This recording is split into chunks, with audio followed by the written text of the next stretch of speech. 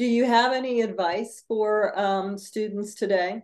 Definitely. I would um, I'd say challenge everything you've learned till now and challenge everything you learn going forward, right? That what you think you're supposed to do because of parents in school, it could be right, it could be wrong, but I just expand your horizons, right? I think that's one of the biggest, I know it was one of my biggest flaws was I knew what I knew from you know my walk from home to to school. Right, you know, I didn't change. My big biggest experience was coming to you know coming to Thomas More first, moving away from home, right, and realizing that things things the way that my family did it that wasn't necessarily the right way or the wrong way. There was just a different way to do things, right, mm-hmm. and accepting that you know that liberal mindset of you know it's not my way or the highway it's the okay this is how i do it let me hear what you think okay maybe we can coexist, right? If the world would do that right now, we'd be a much better place.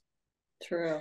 So I kid with people all the time that I said, you know, if you you used to eat at McDonald's and you've ever tried Taco Bell, you are liberal, right? because you you've opened your brain to, to, something different, right? And you tried it and you liked it, right? So I guess it's that is just thinking that uh, you know, never say I, you know, don't default with I can't do it right?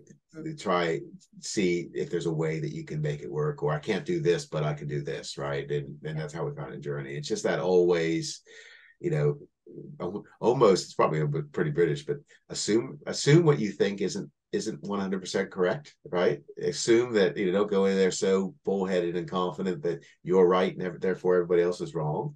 It's just framing it a bit to say, well, I think we should do this. What do you think? Right?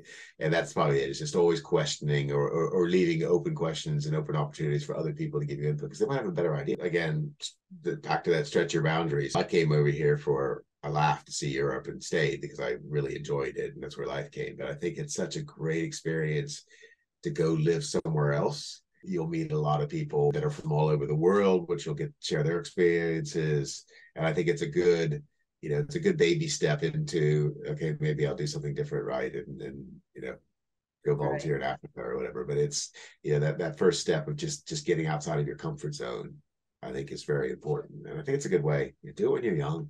Like you said i would have done this.